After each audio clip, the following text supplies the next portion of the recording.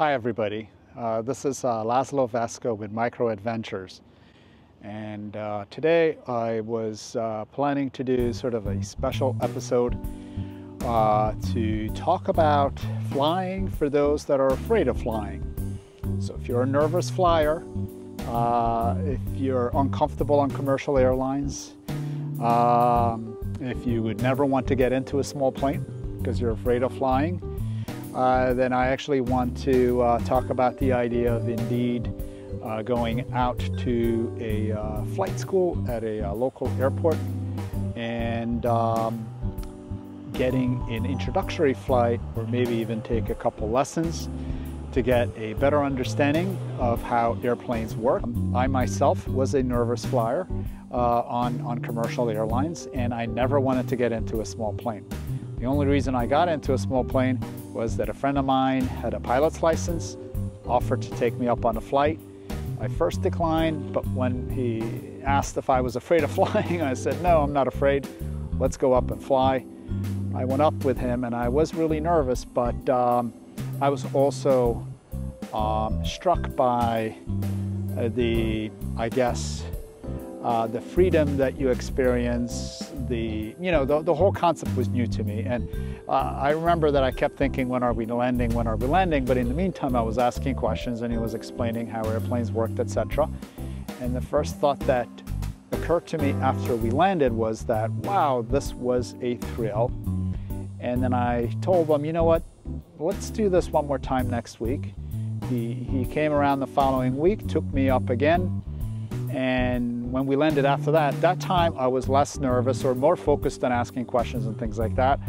And after we landed for the second time, I said, I'm getting my pilot's license. But um, that's not the uh, point today. The, the point is, is that you can actually learn quite a bit about um, not just you know about aviation, about small planes, uh, and to get a familiarity level with them to address the nervousness because that for sure for me went away. This is a Cessna 150, uh, one of the most successful, if not the most successful training aircraft uh, ever built uh, by Cessna in the 1950s. So they've been uh, making these for, for quite some time. This particular one is from the mid 70s.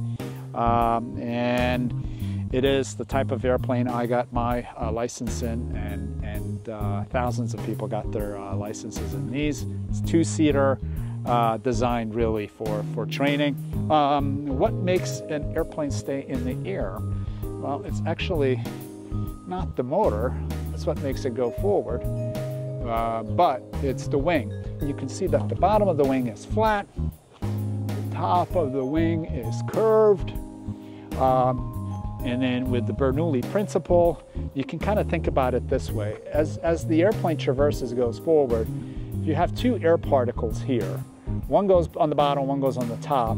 For them to meet up over here, because otherwise you'd be splitting the atmosphere, which can't happen. So those two particles, in a sense, need to meet up, which causes the one on top traverse a longer distance because it goes over the curve, and uh, the faster speed uh, causes a lower pressure and hence pulls the plane up. The same principle is applied on the propeller. Uh, so the propeller actually, if you look at the end, is the same thing. It's flat in the back, curved on the front, spins forward. The air over here is going to accelerate, it's going to create lower pressure, and it's going to pull the plane forward. And, but it's actually the wings and not the engine nor the propeller, and hence why gliders without engines are able to fly. Horizontal stabilizer, uh, this front section is the horizontal stabilizer, which is an upside down wing. So this one is flat on the top, curved on the bottom, which means yes, this one is pulling the plane down, or basically it's pulling the tail down uh, to, to counterbalance that and, and, and basically uh, keep it flying level. And then we have the elevator, which then facilitates um, the airplane going, changing it's uh, going up and down basically. It's called this part rudder, but it's similar to uh, what you would see on a boat basically. And uh, this helps with the yaw of the airplane going like this is via what are called ailerons and those are on the rear part of the wing uh, which when deflected. So uh, when you turn you can I don't know if you can see it on the video but right now if you turn the yoke to the right this deflects up which causes this wing. Just imagine how the air hits it. It would cause this wing to go down and the airplane to bank to the right, and now you're initiating a turn. Um, you'll learn more about the exact dynamics and better understand how they fly, but one thing to note is how simple the whole concept is. I did create a video, by the way, of our Cessna 170 getting an annual inspection, which, if, again, if you're nervous about it, you may want to take a look at that video. It explains a little bit what goes into the maintenance of these aircraft. They're not maintained simply like a car. They're maintained to a lot higher uh, specification from the FAA. There's a lot of regulations that go into the maintenance of, of aircraft to ensure their reliability.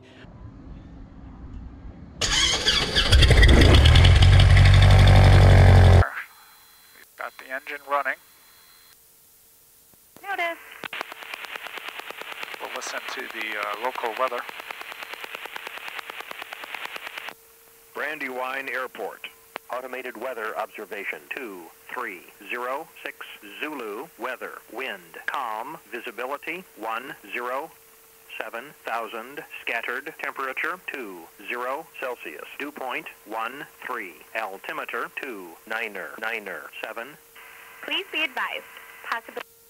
One of the things we said is the altimeter because as the pressure, altimeters are super simple. Uh, they uh, measure the difference in, in altitude as you go up uh, with pressure. So you need to set them for the uh, pressure of the day. Of course, pressure changes, uh, actually continues to change as the atmosphere moves about. So it's continually updated and uh, this airport has a wet, mini weather station basically, and that's what I was just uh, listening to.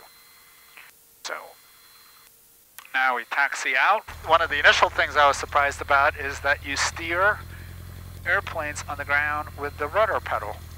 The rudder is interlinked, in this case, with the nose wheel. So it also turns the nose wheel, and that's what gets you around.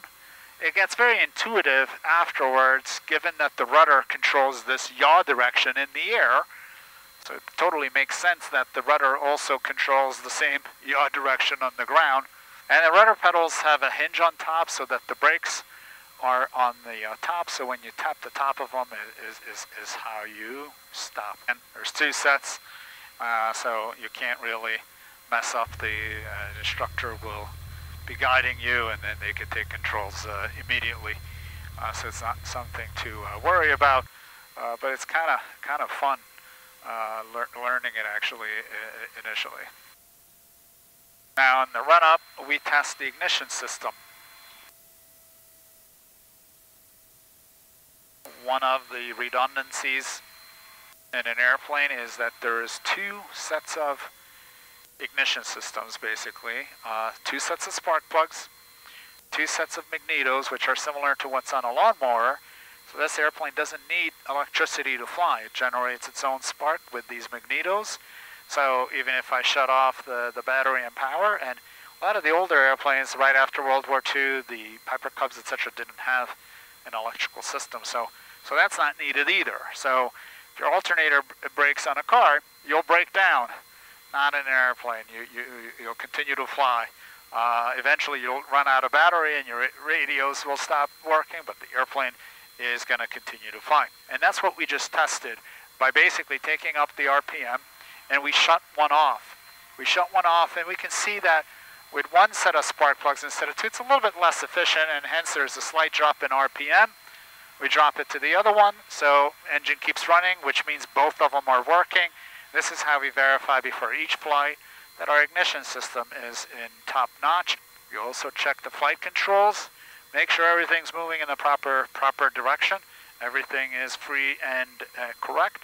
Brandywine traffic, Cessna 63465, departing runway 27, and we'll be departing to the north Brandywine. I continue to steer with the rudder as you're accelerating down. Once you reach rotation speed, gently pull back on the yoke, and that lifts the plane off the ground. And now one of your key instruments is the airspeed indicator, uh, which is essential for all phases of flight. Uh, so on takeoff, then you're set your best climb speed to be able to uh, climb up. Line traffic, uh, Cessna 63465, according the pattern to the north. Now we switch over to Philly ATC. 45, American 23, 23, see ya. American 2468, proceed direct to Modena. Direct Modena, American 2468. Philadelphia approach, uh, Cessna 63465 is you climbing out of uh, Brandywine northbound. 63465 uh, 465, Philly approach, ident. Ident, 63465. 465, radar contact, Philly altimeter 29er, 9er 4. 29er, 9er 4, 63465. District 5577, reduce speed to 190, contact Philly final 125.4. 190 on the speed, 254 on the radio, Blue Streak 5577, thanks. Okay, so as you heard, um, also one of the things that surprised me is that um, although it shouldn't be so surprising, there is only one air traffic control uh, system. Uh, so that's the same system the big airlines use as well. It's a beautiful smooth day today. Will also get us a chance to uh, see uh, hopefully a nice sunset. Expect your circling instructions. One of the other similarities to boats is that, you know, first of all, you're out in this big open sea, basically, or, or air. You don't have to worry about hitting anybody. So unlike learning to drive, you gotta be really careful because you can run off the road instantly. It's not really, that's not the case here at all. And uh, so one of the neat things is that it is similar to, you know, steering a boat. You can go a little bit this way or that way, up and down. Doesn't really matter.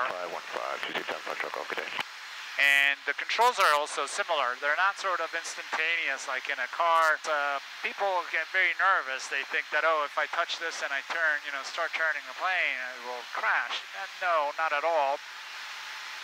You, but, you know, you kind of have to do a big, abrupt, long input to, to start um, upsetting an airplane. It's not something you can accidentally do. So that's another factor when you come out and, and take a lesson is that it's, you know, you can't really mess up uh, in a sense, not with an instructor Number next to you. 609, Bravo. We have the uh, Schuylkill River, Traffic direction, okay, looking back. and that's the Pottstown Limerick uh, power station right there. So the first time I uh, went up with my friend, it was actually a bumpy day. And uh, I, I, do recommend uh, that, uh, well, definitely interview instructors um, and then go up on a calm day. I think that will probably help, which is either overcast, but another great time to go is early in the morning.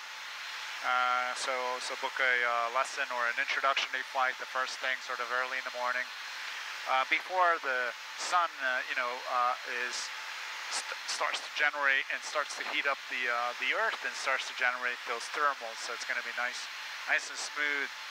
Or uh, actually, sunset time is another uh, great time to go uh, when things are settling back down and uh, and you no longer have those uh, so that that will certainly help. Because otherwise, as you can see, it's actually you know these things. I don't need to touch the controls. Uh, and when I do, you know, it's all, it's just fingertip. Yeah, so as I was demonstrating in the pre-flight, pulling back on the uh, yoke, as us go up. As we start to go up, if we don't change the power setting, the airplane's gonna start to slow down. But you can see it takes quite some time. And so, let's give it some power.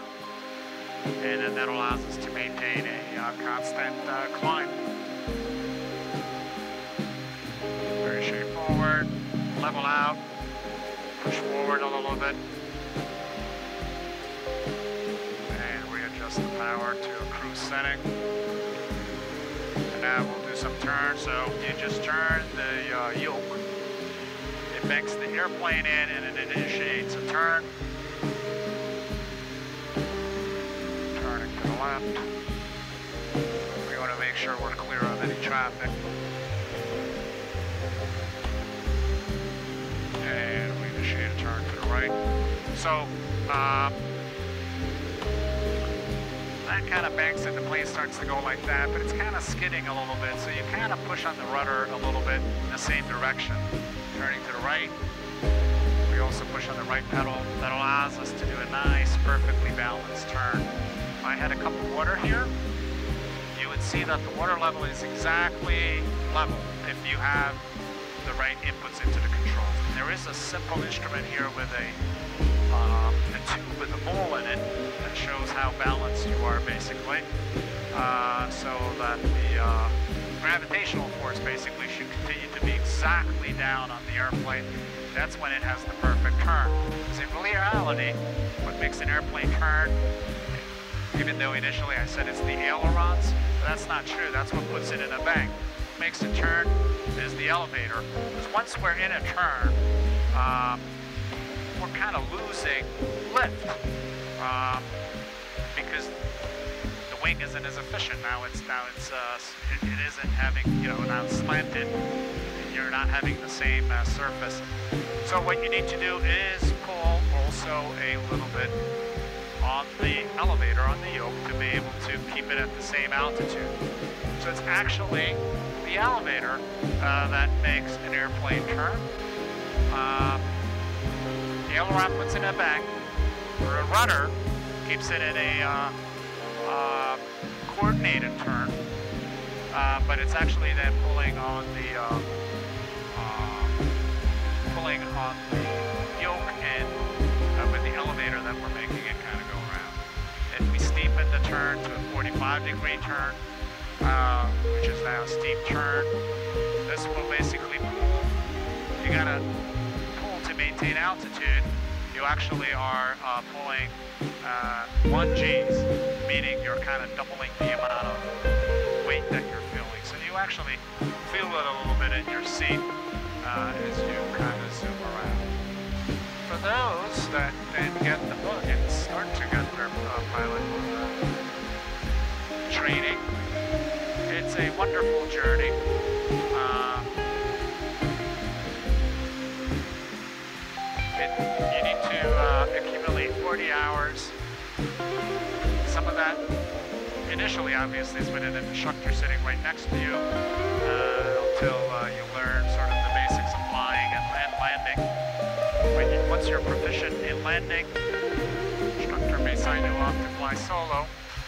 you go into the next phase of training, which is cross country, and uh, learning how to navigate. Uh, how to uh, you know, be able to plan out a trip, plan a, uh, fly a longer trip, and now you do this with the instructor again. You start adding in night flying to fly at night, get used to landing in the dark. You start adding in um, flights to controlled tower airports and learn how to communicate. So the first thing you, you learn, and that's basically the key rule, is first you aviate, learn how to fly the plane, how to land it. Then you navigate, know where, where the heck you're going to, and then lastly is to learn how to communicate.